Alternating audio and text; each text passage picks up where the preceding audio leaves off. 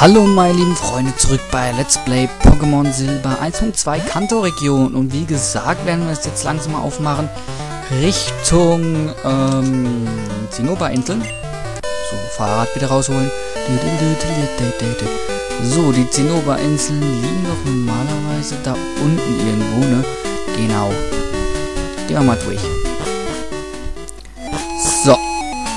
Oh, hier gibt's wirklich viel zu sehen und zwar äh, gar nichts. Das heißt, wir müssen über Alabastia letztendlich dorthin kommen. Von daher muss ich jetzt kurz überlegen, wie wir am besten nach Alabastia kommen. Wir haben ja zum Glück unser Flug-Pokémon äh, Gerd, das uns jetzt mal kurz mal in die Gruppe Azuria Orania. Kommen wir da durch die Höhle? Das ist die einzige Möglichkeit, die ich mir gerade so ähm, in den Sinn kommt, dass wir jetzt über die Höhle gehen. So, ähm, jetzt nebenbei noch gesagt, es gibt noch ein, zwei Sachen, die wir hier klären müssen. oh, ein Relaxo. Relaxo schläft friedlich. Äh, da können wir scheinbar auch nicht unbedingt hin, aber ich glaube, ich habe da eine gewisse Idee. Ganz kurz mal gucken. Ähm, so. Ah ja, ja, jetzt muss ich mich echt mal wieder dran erinnern, ähm, wo ich eigentlich hin muss, genau was ich zu tun habe. Gehen wir mal in diese Richtung, das kann nicht falsch sein. Da lang bitte. Und hier vorbei.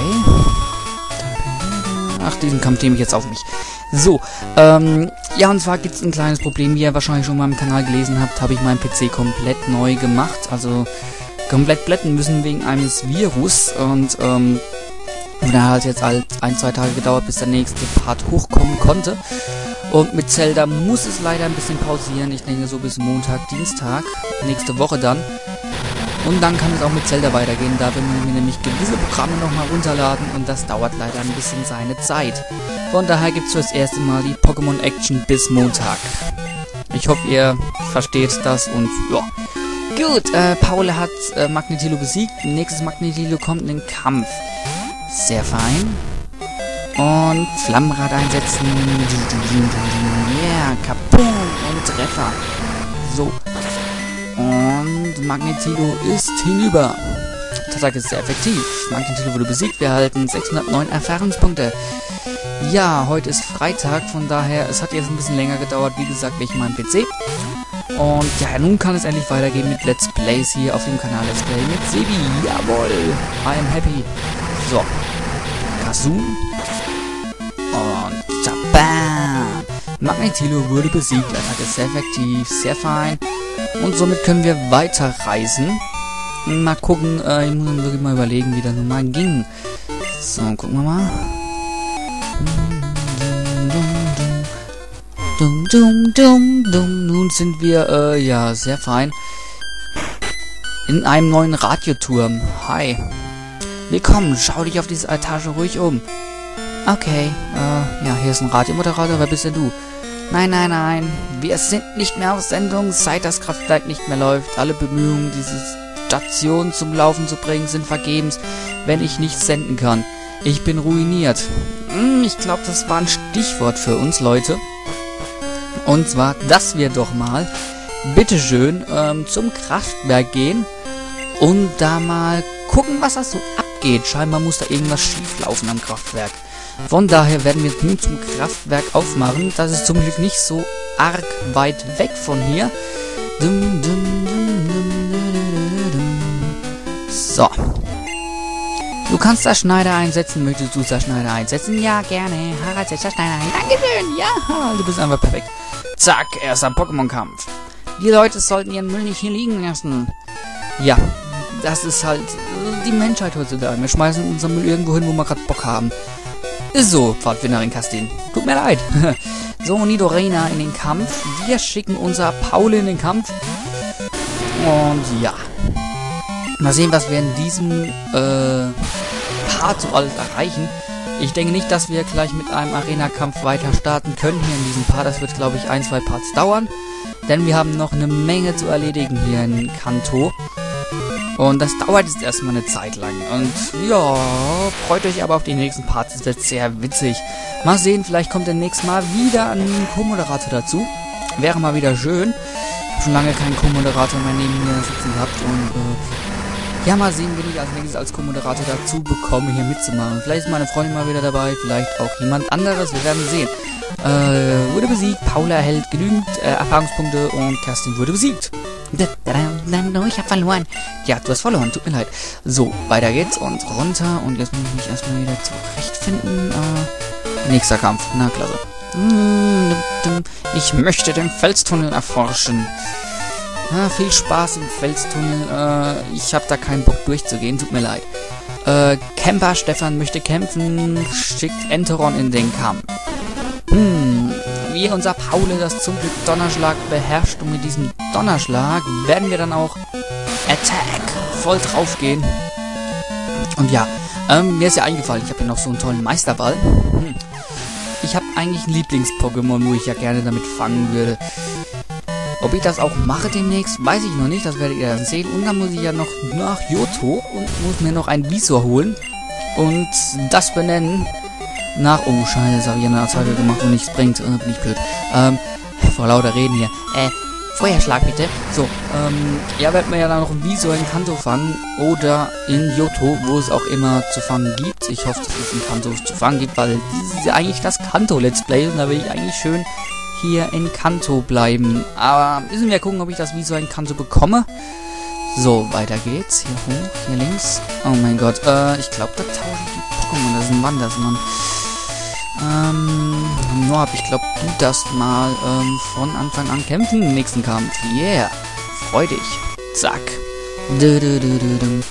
Wenn sie kommt, kommt sie vom Silberberg. Der Silberberg ist in Johto, oder? Ähm, da lässt sich drüber streiten. Ich glaube, der ist wirklich ein Johto, Digga. War ich mir richtig erinnere. Und der Hartmut möchte kämpfen und schickt einen Georg in den Kampf. Wir haben natürlich unseren Noab. Und ja, ich werde mal sehen, wie lange ich diesen Part machen werde. Vielleicht so 12 Minuten oder, ja, 12 Minuten würde ich sagen, mache ich diesen Part heute lang. Da ihr la ein bisschen warten musstet, bis dieser Part jetzt kommt. Daher 2 Minuten Verlängerung. Yeah. So, hat uns jetzt wieder Georg in den Kampf. Wir bleiben bei äh, Noab, der mit seiner Kaskade eigentlich ziemlich gut dabei ist. Los, Kaskade. Zack. Eine Wasserattacke. Äh, Georg ist Gestein, von daher. Bye, bye. Pech gehabt. Georg wurde besiegt. Wir erhalten 889 Erfahrungspunkte. Wanner hat uns setzt nochmal ein Georg ein. Und man, langsam wird's langweilig, HT. Ähm, naja. So, äh, Kaskade wieder einsetzen. Katschung. Und ja! Georg wurde besiegt, weil die Attacke sehr effektiv war. Und wir erhalten 889 Erfahrungspunkte wiederum. Und Wanderratmut wurde besiegt. Ich war zu sehr mit Singen beschäftigt. Ähm, na, dann sei ab jetzt lieber ruhig. Dein Gesinge braucht nicht.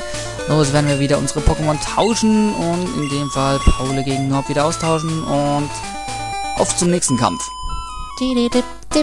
Warst du schon beim Picknicken? Das macht großen Spaß. Ja, das glaube ich dir, dass das riesen Spaß macht. Echt, aber äh, ich, äh, es ist ja... Picknicken, das mache ich äh, mal mit meiner Freundin, aber mehr auch nicht. Ein Hubbelupf, soweit ich weiß, ein äh, Pflanzentyp. Ihr könnt jetzt ruhig in die Kommentare schreiben, wenn es kein Pflanzentyp ist, weil es euren Pflanzentyp vorher sehr effektiv sein dagegen. So, Attacke. Kazoo. Yeah. Mal sehen, wie lange ich diesen Part mache. Vielleicht mache ich... Oh, ich bin noch gespalten, Leute, ob ich wirklich nur 12 Minuten mache oder ein bisschen länger. Äh, vielleicht gibt es auch einen 15-Minuten-Part. Ihr werdet sehen. So, Flammenrad bitte. Jawohl. Mal sehen, wie lange ich diesen Part mache, wie gesagt. Ähm, das wird jetzt einfach eine spontane Entscheidung von mir. Vielleicht mache ich auch 15 Minuten oder 20 Minuten Part. Das wird sich zeigen. Äh, ja, dass es halt so wenig gegeben hat, werde ich wahrscheinlich wirklich den Part so zwischen 15 und 20 Minuten doch machen.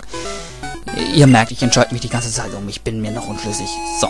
Und nun äh, sind wir fast da. So.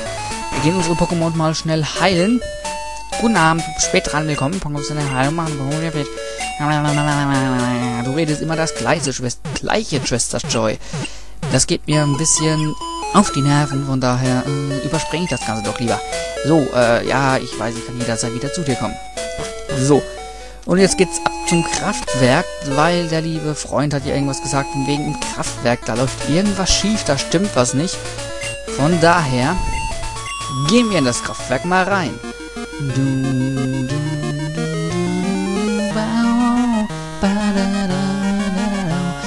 Musik macht mich so sentimental. Willkommen im Kraftwerk von Kanto. So, äh, ein Dieb ist in das Kraftwerk eingebrochen. Was geschieht nun mit dieser Welt? Ein Dieb. Okay. Das Kraftwerk wurde für lange Zeit stillgelegt. Wir haben es wieder in Betrieb genommen und versorgen den Magnetzug mit Energie. Okay. Ein wichtiges Teil des Generators wurde von dem Dieb entwendet. Ohne dieses Teil funktioniert der Generator nicht. Okay, also ein Dieb hat auf jeden Fall den was gemacht hier. Moment. Der Magnetzug verbraucht viel Energie. Ohne den neuen Generator fährt er nicht. Okay. Hm. Und du? Äh, der Direktor des Kraftwerks sitzt da vorne. Seit, seit jemand den Generator demoliert, dem demolierte, ist er traurig und wütend zugleich. Na, dann gucken wir mal, wo, wo er sitzt. Ah, da ist er ja. Komm mal her. Ich, ich werde ihm nie verzeihen. Wer wagt es, meinen Generator zu demolieren? Ich habe so lange daran gearbeitet. Wenn ich den erwische, dann lernt er meine Blitzkanone kennen. Okay, redest du das zweite Mal das? Das kann ich ihm nicht verzeihen. Der Schurke kann weinen und sich entschuldigen. Ich werde ihn trotzdem bestrafen. Okay, ähm... Auf jeden Fall geht es hier um einen Dieb, der auf jeden Fall was geklaut hat. Ähm, müssen wir mal gucken. Wo könnte dieser, dieser Dieb sich denn auch versteckt haben? Hm, ich erinnere mich wagemutig an etwas, aber na, das muss ich jetzt erstmal genau durch den Kopf gehen Und, oh, was geht jetzt? Ich habe Nachrichten aus Azuria City. Ein zwielichte Figur treibt sich dort in der Umgebung herum. Kann ich mit deiner Unterstützung rechnen? Ja klar. Mann, äh, wir müssen nach Azuria. Okay. So, irgendwas scheint in Azuria schief zu gehen. So, ähm, Gerd, fliegen uns bitte mal nach Azuria City. Da scheint sich eine zwielichtige Kreatur herumzutreiben. Die Kreatur, die man auch mit Misty jetzt in Verbindung bringen kann. Ich glaube nämlich, wenn man diese schnappt, ist auch Misty wieder so weit, dass man gegen sie kämpfen kann. Somit können wir zwei Arena-Ordenleiter, glaube ich, demnächst auf einmal machen. Im nächsten Part dann. Werden wir mal gucken, was hier abgeht. Und ich habe mich jetzt endgültig entschieden, Leute. Dieser Part wird ein 20-Minuten-Part, also doppelte Ladung für euch. Hm, hier ist nichts. Irgendwo muss doch sowas sein. Hier sind auch nicht. Oder? Oder, oder, oder bist du immer noch der mit dem, äh, mein Enkel Bill hat mir von Pokémon langer Zunge erzählt. Ah, das haben wir im letzten Part schon. Nein, ich habe kein, ich habe kein Plot, tut mir leid. Ähm, okay, hier treibt sich auf jeden Fall irgendwo ein zwielichtiger Typ herum. Gucken wir mal.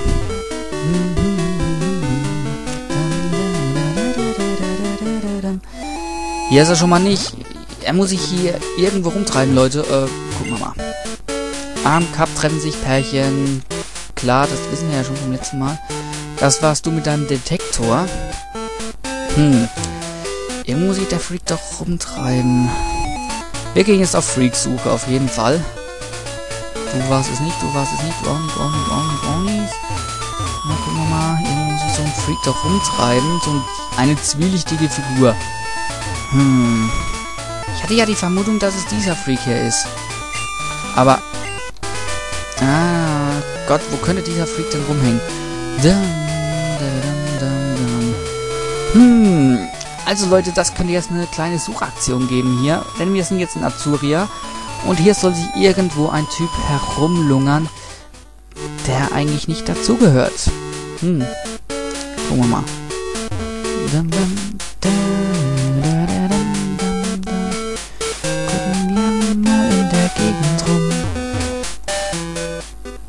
Findet man ihn ja, aber er muss irgendwo in Azuria sein.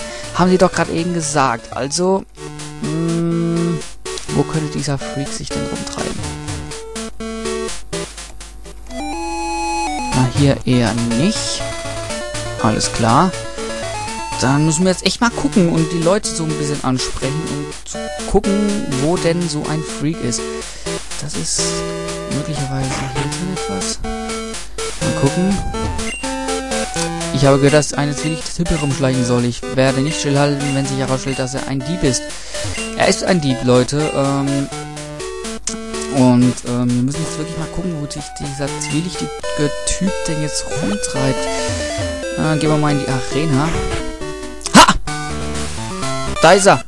Ups, äh, tut ja so leid mir. Du nicht verletzt, du okay? Ich schwer beschäftigt. Nicht Zeit für Reden. Nicht gut, wenn ich gesehen werde.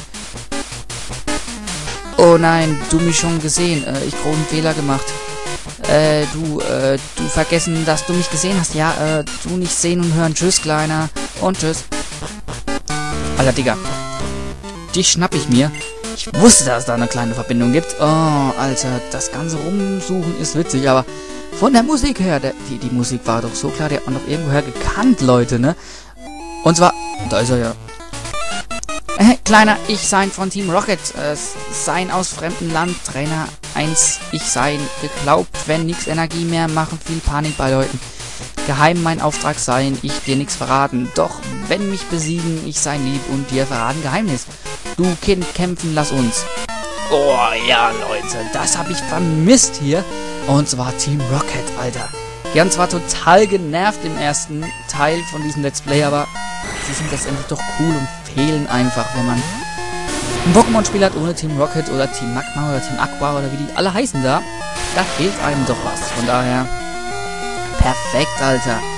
So, Goldbart wurde besiegt. Dieser Team Rocket Fuzzi ist ja schneller besiegt wie gedacht. Und Paul ist fast schon auf Level 64. Jawohl. Uff, nein, glaub nicht, ich kann äh, stark sehr du sein. Ich nix Gegner für dich. Ja, glaube ich auch. Okay, verraten dir mein Geheimnis. Spule gestohlen von mir. Versteckt in Arena der Azuria City. Wasser sein Gutes versteckt. Inmitten der Arena Wasser sein. Bub, du mich vergessen nicht. Besiegen dir wird Team Rocket tun. Werden kommen aus Johto. Mein Freunde rächen sie werden tun. Was du sagen, Team Rocket nichts mehr gibt? Kaputt gemacht, du sagen? Oh, nein, äh, ich, ich tun was jetzt machen, äh. Ja, weg ist er. Na, das nehme ich mal Halleluja. Das war, ich glaube wirklich, der allerletzte Team Rocket Kampf. Und die scheinen wirklich einen, Aus, einen ausländischen Auszubildenden gehabt haben. Sehr witzig. Und, oh mein Gott, was ist das? Oh, hi Misty. Ah, warum musst du jetzt auftauchen und uns stören? Weißt du, wie man Menschen wie dich nennt? Plage. Du hast richtig gehört. Plage. Oh, die Orden, die du hast, sind das Arena-Orden aus Johto? Wenn du acht hast, musst du gut sein. Okay, wenn... Komm in die Arena von Azuria City. Ich freue mich, gegen dich zu kämpfen. Ich bin Missy, Arenaleiter von Azuria City. Alles klar, somit ist Misty jetzt auch endlich da, wo sie hingehört. Und jetzt holen wir uns noch die Spule und dann werde ich diesen Part leider schon wieder beenden. Dann sind 20 Minuten etwa rum. Und oh, der Team Rocket Fuzzi, der ausländische Ausbilder da, äh, oder was auch immer das war, hat mich ganz krank gemacht mit seinem Wischi-Waschi-Gelaber gerade eben. Oh, und ja, es gibt wieder, es gibt wieder Kämpfe. So. In der Mitte sein Wasser, da nix sein, Junge. Ah, da, Seppi, wir haben die Spule gefunden. Sehr wichtig. Gut, die haben wir jetzt gefunden. Jetzt gehe ich direkt zu Misty vor und werde diesen ganzen Trainern hier aus dem Weg gehen. Das kann man nämlich in dieser Arena so toll. Und genau hier sage ich dann jetzt auch lebt wohl, Leute, für diesen Part mich gefreut, dass ihr wieder zugeschaut habt. Wie gesagt, das war jetzt ein 20-Minuten-Part etwa, als kleine Belohnung für euer Warten, weil ihr so lange warten gemusst habt, bis ich jetzt den nächsten Part hochschlägen konnte. Von daher, es hat mich gefreut, dass ihr zugeschaut habt. Bleibt mir gewogen, Leute, bleibt mir gesund. Bis zum nächsten Mal bei Let's Play Pokémon Silber 1.2 Kanto-Region. Mit mir, eurem Sebi, auf dem Kanal Racer McNeil. Also, bis zum nächsten Mal. Ciao, Leute.